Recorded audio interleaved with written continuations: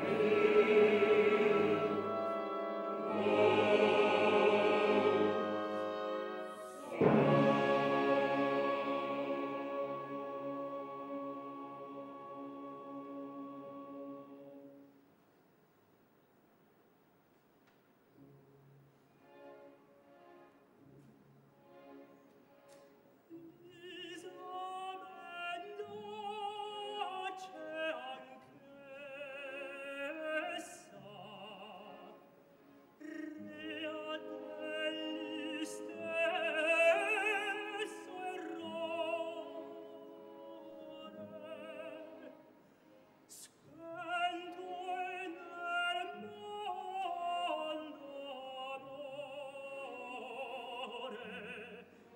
più fe, più onore, più fe, più.